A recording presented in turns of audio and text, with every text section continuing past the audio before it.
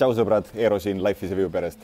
täna meil on selline põnev teema nagu elektriliikurid, kuna meie oleme autoga sõitnud viimastel aastatel kuskil kolmkümmend viis, nelikümmend tuhat kilomeetrit ja nüüd me oleme Tallinnasse kolimas, siis meie ainuke loogiline valik, säästmaks kõiki neid kilomeetreid ja kulutusi autole, oli loomulikult äh, elektritõuks ja elektritõuks just sellepärast, et rulaga on tänasel päeval veel Tallinna teedel suhteliselt keeruline sõita, sest väiksed rattad, kruusakivid, värgid-särgid, kukkumist on väga palju. ilgelt põnev oli ka see, et ma sain proovida sellise monowheeliga sõita, aga miks me lõpuks selle monowheeli kasuks ikkagi ei läinud, oli loomulikult see, et kuna sellega peavad ka sõitma teised pereliikmed, siis suhteliselt keeruline oli Mariannele või Aleksandrile selgeks õpetada seda. aga lähme vaatame, mis tõukeratta kasuks me otsustasime ja siis räägime juba sellest lähemalt.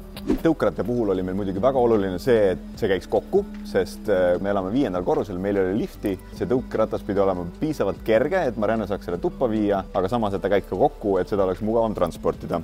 üks oluline asi veel, mis sai nagu meie jaoks oli otsustavaks, oli see, et me küll tahtsime amortidega alguses aga vaadates neid hindu, siis lõppude lõpuks me ikkagi otsustasime selle kasuks, et lihtsalt oleks õhkrehvid. õhkrehvidega on oluliselt pehmem sõita ja, ja mis teeb ka selle mugavamaks. oota, aga lähme vaatame. see kast, milles tõukeratas tuli, oli umbes nii suur. panen selle kasti korraks praegu kõrvale. loomulikult tõukeratas. nii, vaatame, mis siis kastist tuli laadija mul on muidugi juba toas, sest me laeme üldjuhul tõukeratast toas, aga kaasas oli müts, väga äge.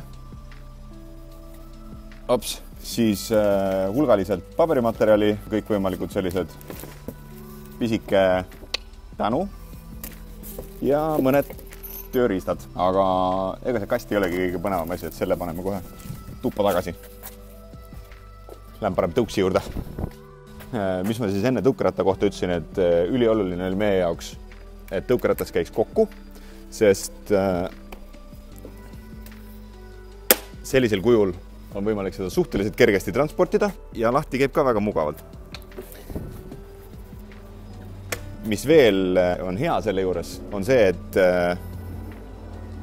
lennuk, lenks käib üles-alla kohati see võib olla negatiivne, sest mida rohkem liikuvaid osi, seda suurem oht on, et midagi läheb katki, aga samas meie jaoks on see väga mugav, sest kolm erinevat sõitjat, üks nendest on laps, siis igaüks saab sellega sõita. nii, aga ma arvan, et ega siin väga palju midagi ei ole, paneme selle tööle. kiiver pähe, alati peab olema. nii, lülitame sisse ja sõit võib alata